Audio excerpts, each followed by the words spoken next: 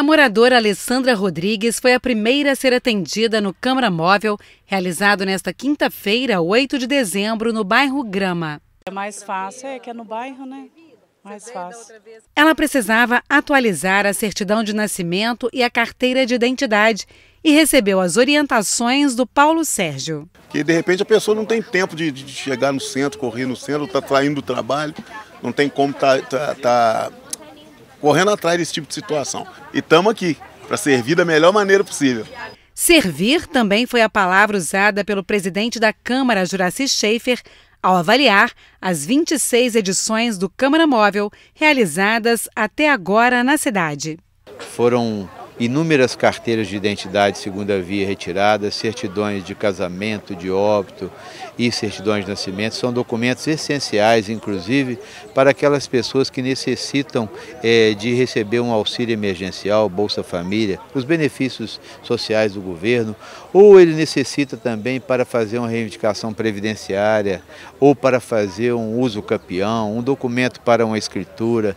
Então, esses documentos, além da assessoria jurídica, também trouxemos temos o CIAM, que é o Centro Integrado de Atenção à Mulher, porque muitos casos de violência doméstica, nós estamos vendo ainda casos de feminicídio que aconteceram e que nós podemos evitar, fazendo com que as mulheres sejam acolhidas.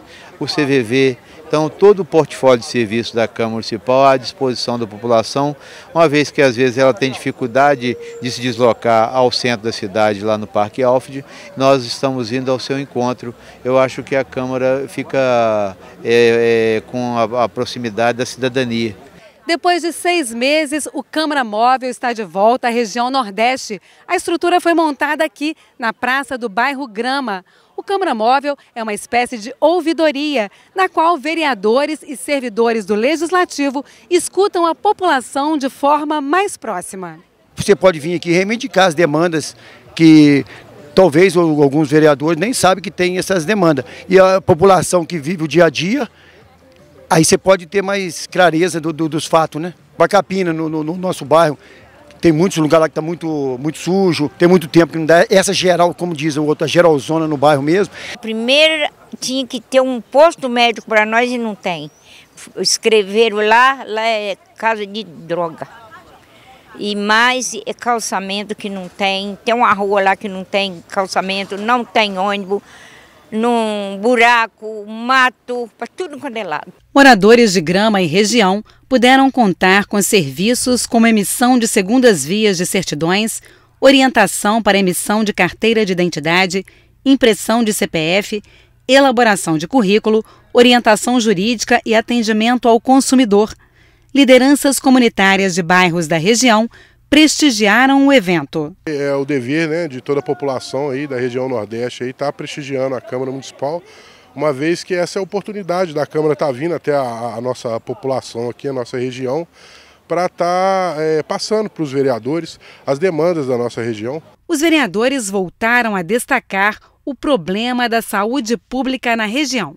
Porque o governo estadual demonstra um total desrespeito com a população da região nordeste de fora e com as cidades é, vizinhas aqui, Piau, Coronel Pacheco, Rio Novo, Guaianá, porque essa, esse atendimento já existia e começou a fazer uma reforma, essa reforma ficou ad eterna, ela nunca acaba.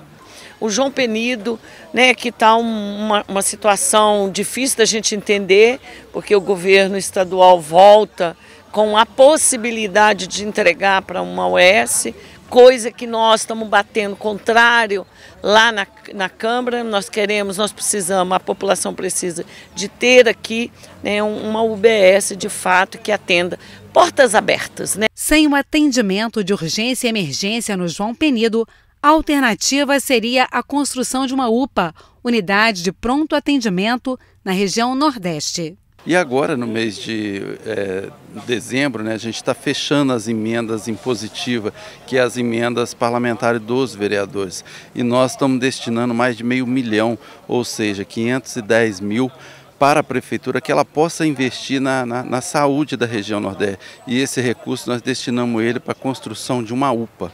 Então a gente espera que o executivo possa empenhar para estar tá atendendo aí o anseio da população da região Nordeste. Bejane Júnior lembrou de recursos de suas emendas destinadas à saúde da região. Podemos ver justamente no início dessa fiscalização junto com o Câmara Móvel, é, 50 mil reais para a UBS, né, destinamos 450 mil reais para a execução, é o valor que faltava para a execução da UBS do Parque Independência aqui do lado, que causa de fato é, um impacto verdadeiro aqui para a Grama, Vila Montanhesa, Nova Suíça, enfim.